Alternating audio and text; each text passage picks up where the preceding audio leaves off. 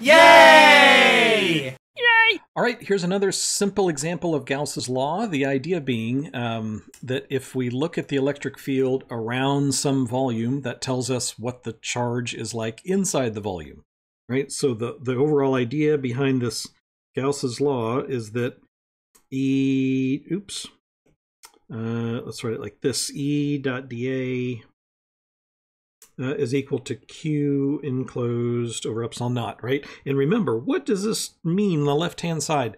That thing on the left-hand side means net flux through the whole surface. Um, so after you see this lots and lots of times, you're not going to be reading it as E dot dA, right? That's sort of sounding it out. But what that means, the, the concept that should go in your head um, is net flux through the surface. So if I add up all the flux going through the surface, that ought to equal uh, the enclosed charge uh, divided by some number. Okay, so look at this example. Um, here I've got a rectangular box uh, with certain dimensions. I have an electric field, and again, just to be simple, just so we can get this in our heads, um, just take the electric field going to the right, just in the x direction. So I have E1 going to the right and E2. Um, and those are different. So on the left-hand side of the box, um, what did I say? Uh, E1 has a magnitude of 250 newtons per coulomb. And over here, E2, let's say it's 500. Right? So the electric fields are different on the left-hand side of the box and the right-hand side of the box. And these are the only fields. Um, so here I've got, here's my uh, here's my vector A. There's my normal to that surface. And then here is the normal to that surface, right? There's my A for here. Here's my surface normal here. Um, the electric field is uniform across the surface. So that means I can turn this, instead of a complicated, oops, let me write it in white. Oops. Um,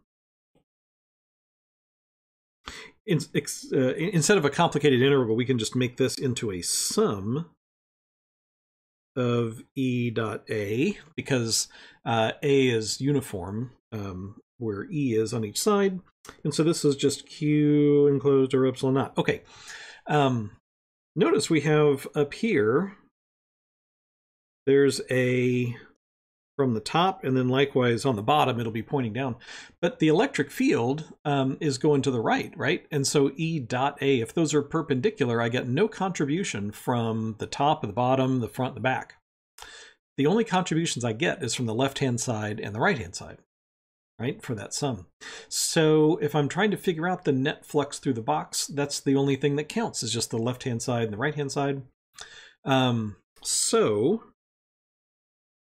Oops, again, I need to switch my colors. Okay. Um,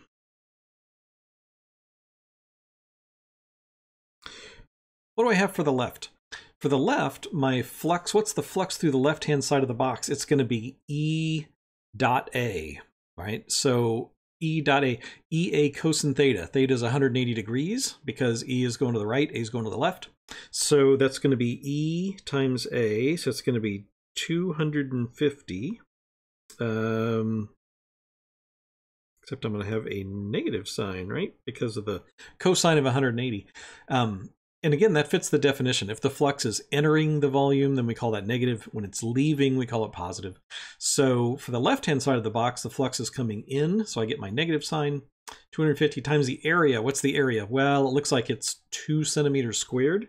So it's 250 times 0.02 squared.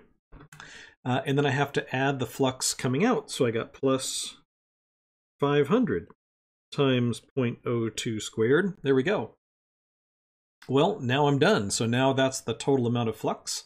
Um, and this has to equal the amount of charge enclosed divided by epsilon naught.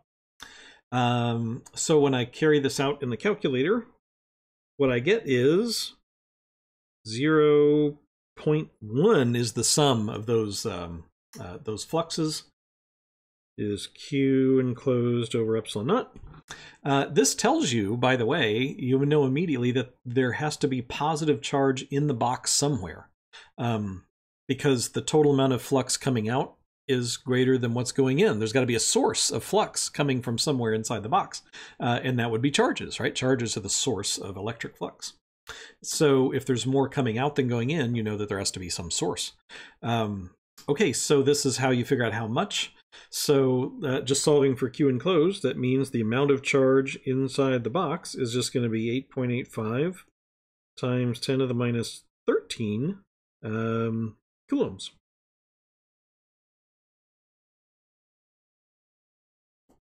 Nice.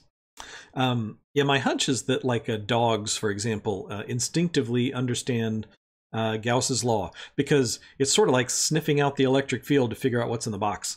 Um, dogs can sniff out the source, right? They, they know that there's a treat in the box because they sample the field out this the the field of smelling like a jerky treat or something. They can they, they sample the field, and so they know that there's something inside the box based on what they sample outside of the box.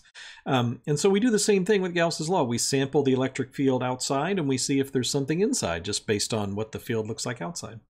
Um, okay, so uh, that's uh, it for that example. Next, coming up.